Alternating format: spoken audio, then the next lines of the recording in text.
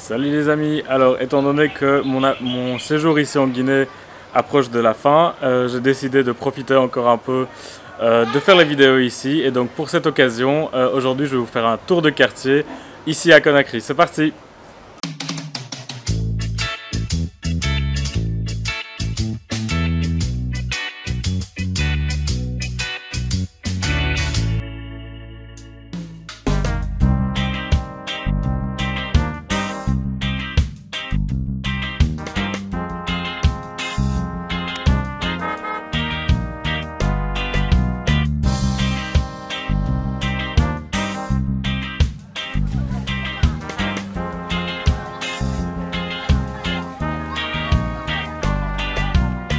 Alors avant même de sortir en, rue, je voulais vous montrer cet endroit ici.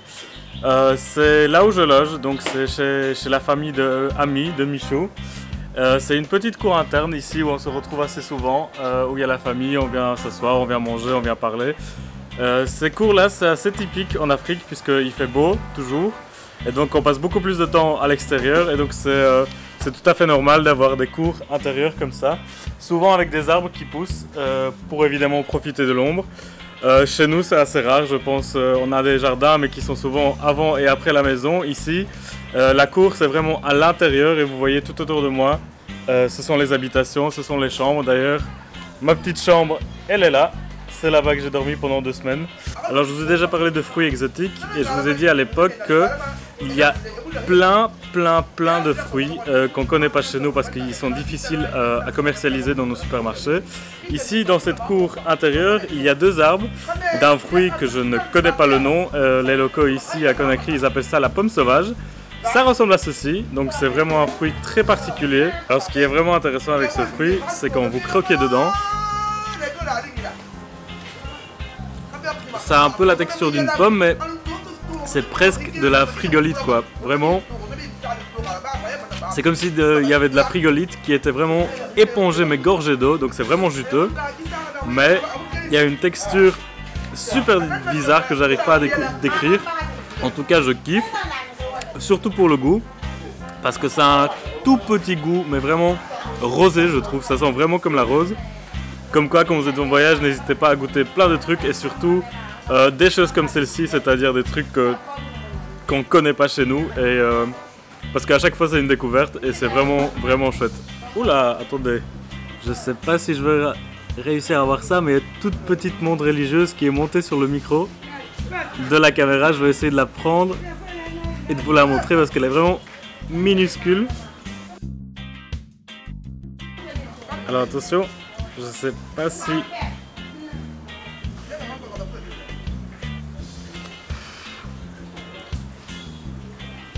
Bon, on va la laisser partir.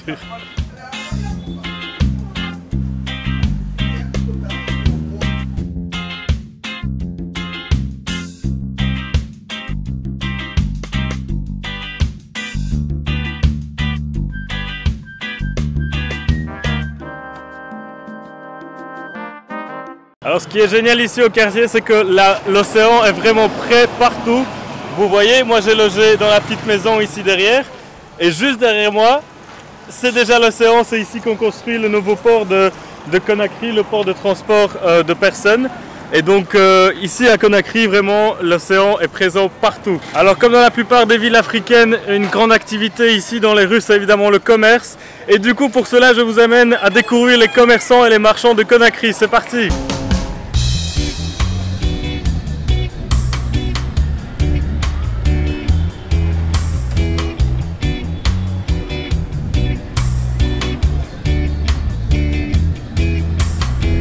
Alors ce que vous voyez derrière moi ici, c'est une des formes les plus rudimentaires du recyclage en Afrique.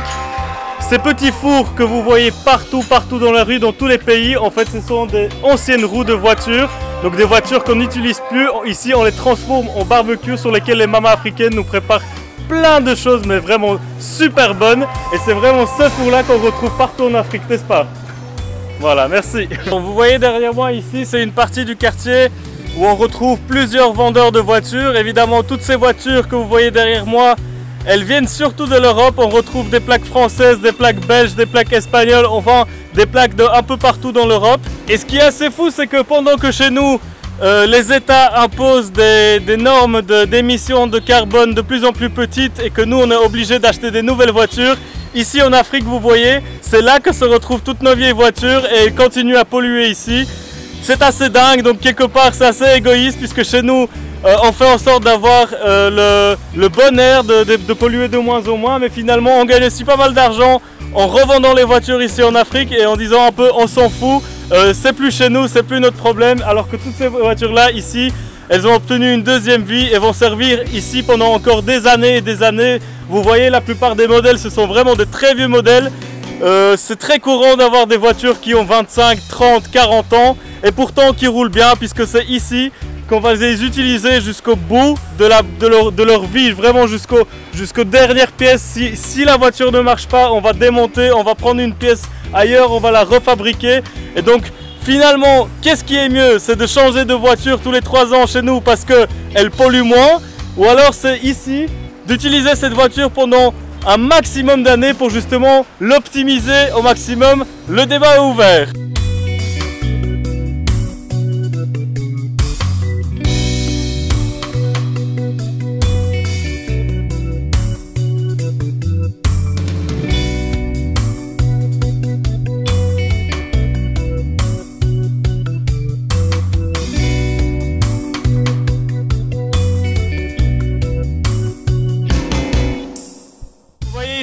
Moi, on prépare des galettes au piment.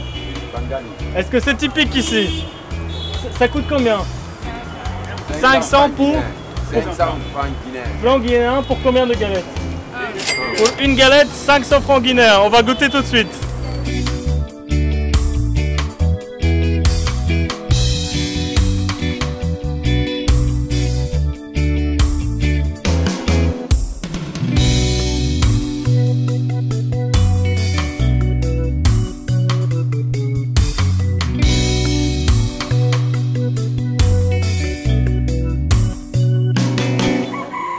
Alors je dois dire que je suis vraiment, mais vraiment agréablement surpris par le nombre d'arbres dans la capitale de Conakry. Je n'ai jamais vu ça euh, ailleurs dans une capitale. Et surtout de très grands et beaux arbres, vous voyez derrière moi ici.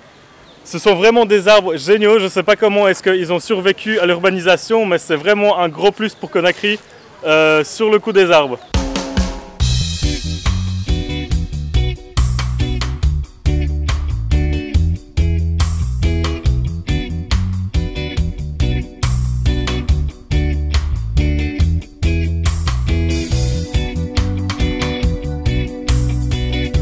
Alors nous sommes au mois de janvier, donc c'est la période sèche et il fait ultra chaud. Les températures peuvent monter jusqu'à plus de 30 degrés pendant la journée.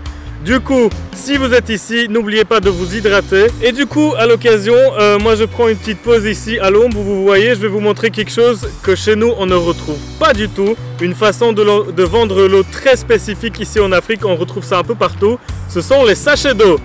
Alors les sachets d'eau, quand on est européen et quand on rencontre ça la première fois, parfois on ne sait pas très bien quoi faire avec. Du coup, petite démonstration de comment est-ce qu'on utilise un sachet d'eau. Vous prenez le coin, il faudra arracher le petit bout là du coin avec les dents. Vous recrachez le petit bout, attention à ne pas vous verser dessus. Et après, vous buvez à travers le trou qui a été fait sur le coin.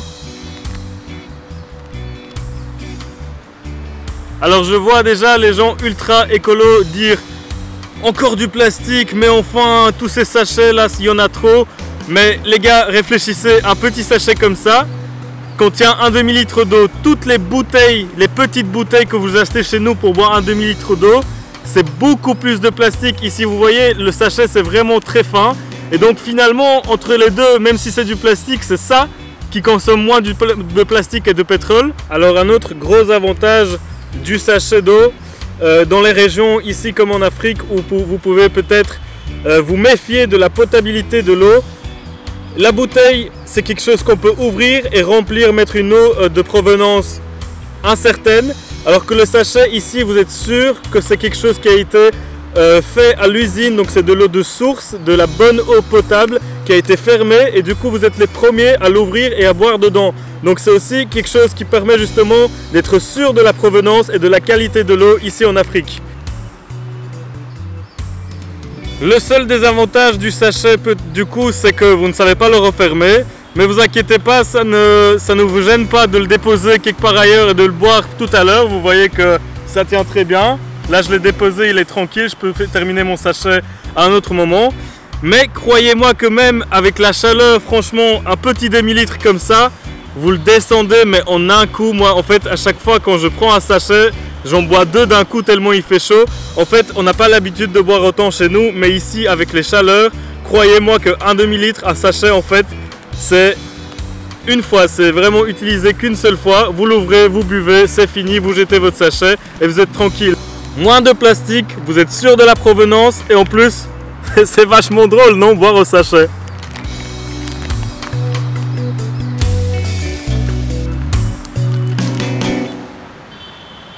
ici je me trouve au jardin d'octobre, c'est un des seuls endroits à Conakry où vous pouvez trouver un peu le calme vu que c'est un parc. Et en fait c'est un endroit où les jeunes viennent un peu du coup prendre le temps, euh, profiter de tous les arbres ici, de l'ombre. Euh, j'ai rencontré il y a quelques jours sur la plage un groupe de jeunes guinéens euh, qui ont formé un groupe de danse et en fait je me suis donné rendez-vous ici au jardin d'octobre avec eux aujourd'hui. Ils sont super sympas. Euh, ils ont proposé de, faire toute une chorégraphie avec les danses traditionnelles. Et donc, euh, c'est parti, on va filmer ça. Et euh, je vous montre ça en image. J'ai trop hâte, franchement. J'ai vu déjà ce qu'ils faisaient l'autre jour sur la plage. Croyez-moi, ils dansent comme des fous. Et franchement, j'ai envie de promuer ça du coup. Aujourd'hui, on va tourner un clip avec eux. dans les habits traditionnels, avec la musique traditionnelle, ici dans les jardins du 2 octobre. C'est parti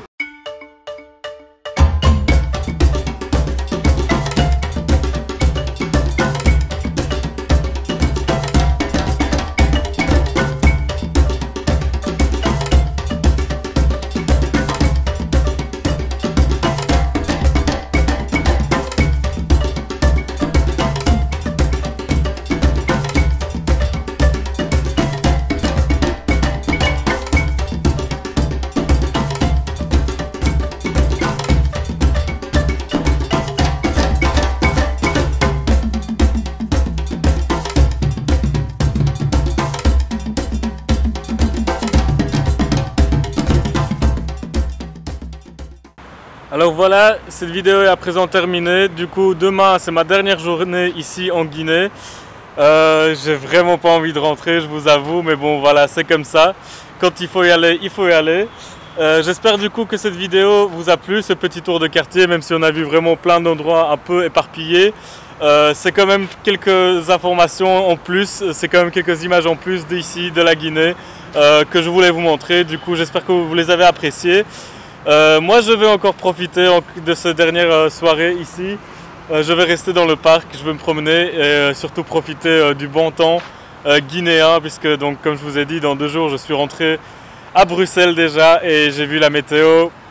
C'est comme d'habitude à Bruxelles. donc voilà, je vais quand même profiter du soleil ici. Et nous, on se retrouve pour la suite. Je sais pas, peut-être je vais vous filmer encore le retour. Mais sinon, on se retrouve pour les prochaines aventures quelque part dans le monde. A plus